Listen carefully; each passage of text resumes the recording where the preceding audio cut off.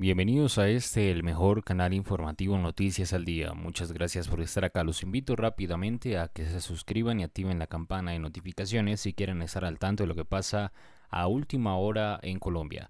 A Duque le ha faltado autoridad, así dice Álvaro Uribe. El expresidente habló con el mundo de España sobre la crisis que atraviesa el país. Recuerden dejar un comentario en este video y un me gusta también para apoyar a nuestro equipo investigativo. De antemano, muchas gracias y recuerde que apoyamos 100% al pueblo colombiano. A un mes de protestas en el país que ha dejado en los últimos dos días 13 eh, decesos en el Valle del Cauca, el expresidente Álvaro Uribe, en entrevista con el diario El Mundo de España, aseguró que Iván Duque le ha faltado autoridad en medio del paro y que Nicolás Maduro está detrás del vandalismo en las protestas. ¿Le ha faltado autoridad al gobierno? Le pregunta al jefe natural del Centro Democrático y le responde, sí, le ha faltado. La tiene que fortalecer, lo digo de la manera más constructiva y es factible por el profesionalismo de las fuerzas. Aseguró, este nuevo mensaje se suma a otras críticas que el partido del mandatario ha hecho desde que fue radicada la reforma tributaria, que dio inicio a la protesta social Incluso en la entrevista con el diario español, Uribe advierte que la razón por la que el paro se ha prolongado durante un mes es porque existe una inconformidad social comprensible por el delicado problema social que hay en el país y por una reforma tributaria equivocada que mi partido pidió retirar. Pero agrega que parte del problema se debe a que las fuerzas están debilitadas debido a que en el acuerdo de paz se les puso de igual a igual y aseguró que se ha usado el tema de los derechos humanos para debilitarlas. ¿Qué opinan de esta información? Nuevamente los invito a que se suscriban y activen la campana de notificaciones. Recuerden dejar un comentario en este video y un me gusta también para apoyar a nuestro equipo investigativo. Compartir a través de redes sociales también es muy importante para que esta información llegue a muchas más personas. Gracias por estar acá. Esto es Noticias al Día. Y es que a raíz de los últimos incidentes violentos ocurridos en Cali, el presidente Iván Duque militarizó la ciudad. Duque ordenó un despliegue máximo de asistencia militar a la Policía Nacional y al Departamento del Valle del Cauca, con el que casi se triplica la capacidad en menos de 24 horas. Con este amplísimo despliegue, el presidente pretende frenar la violencia y además lograr el desbloqueo de la ciudad. Escuche usted.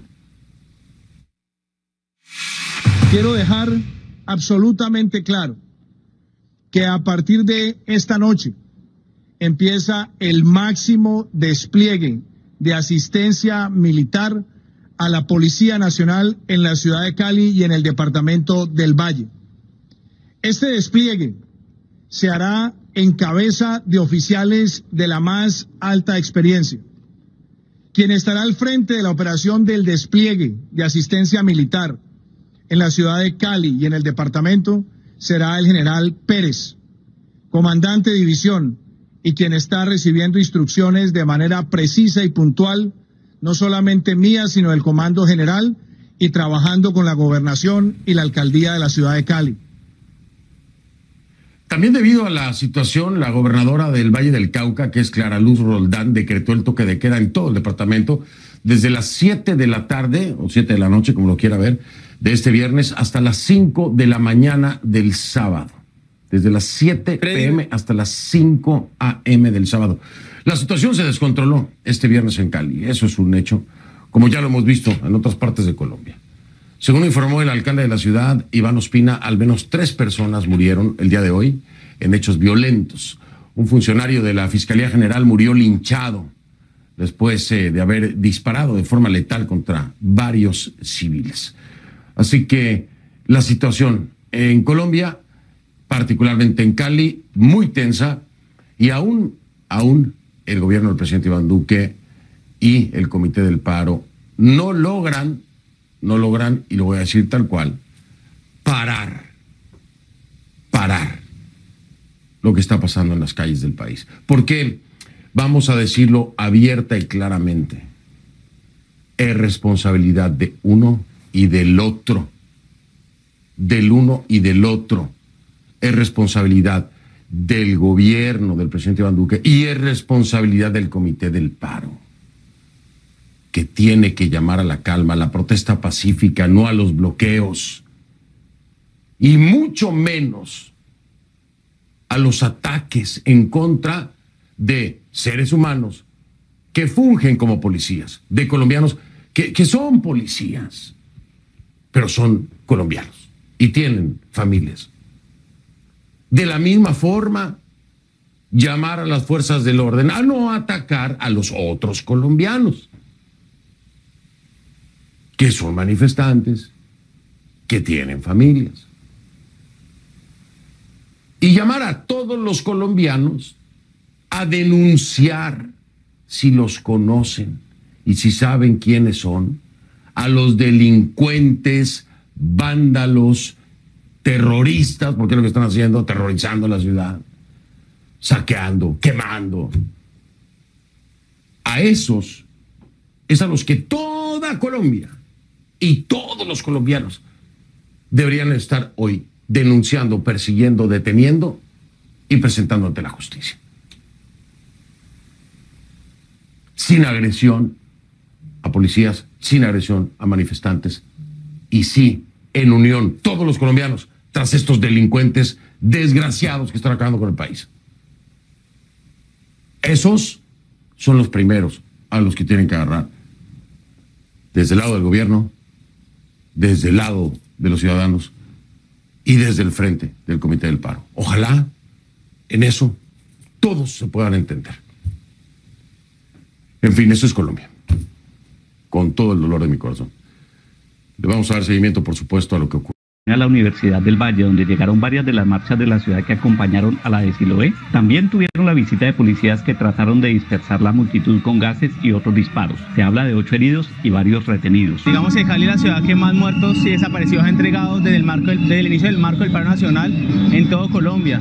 Es muy preocupante porque básicamente están asesinando a la gente, están desapareciendo a la gente y no es noticia. Siloé Después de haber tenido una marcha pacífica en la mañana, regresó a su punto de resistencia y allí había presencia de civiles y uniformados armados que tenían la orden de recuperar el lugar como fuera necesario. Parcialmente hay más de cinco heridos. La ciudad no está preocupada solo por las reformas del gobierno, sino ahora por las víctimas, principalmente muertos y desaparecidos, además de heridos y amenazados. No, no puedo hacer mi ejercicio libremente y la verdad lo tengo que decir así contundente porque aparte de amenazas por parte de la policía también he tenido persecuciones y también he tenido persecuciones en parte de mi familia.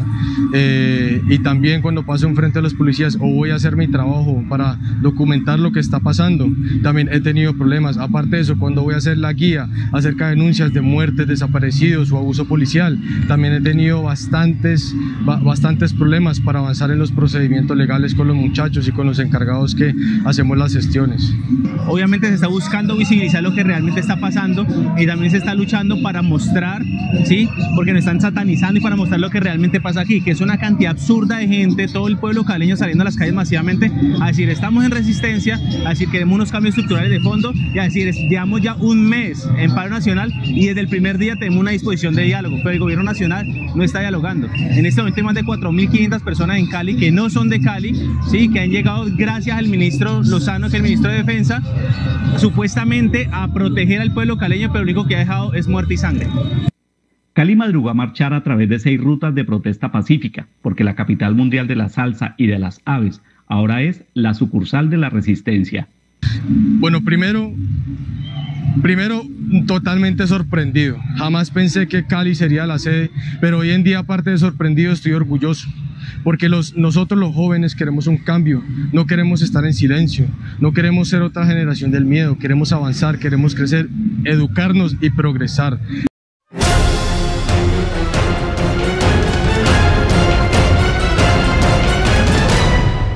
Si no te quieres perder de los últimos acontecimientos que pasan en el mundo, suscríbete y activa la campana. Somos Noticias al Día.